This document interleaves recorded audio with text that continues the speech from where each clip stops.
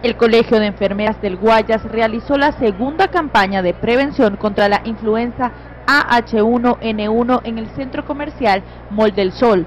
El fin principal de este evento es promover la salud y bienestar con responsabilidad social. Vemos que hay cierta desinformación y a veces nosotros mismos la gente nos dice enséñanos cómo utilizar el alcohol gel para cubrirnos para protegernos, cree que, no, se utiliza la técnica, entonces le estamos enseñando una técnica.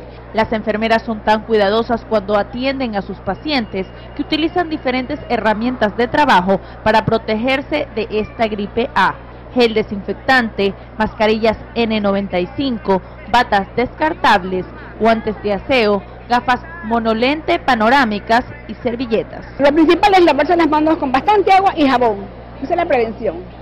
Este tipo de tareas que viene realizando es gratificante para la ciudadanía. Me parece muy bien porque eh, así toda la ciudadanía este, puede conocer cómo, cómo debemos protegernos, eh, para ver este, si este, logramos este, eh, que, la, que se disminuya un poco esta enfermedad aquí en el país.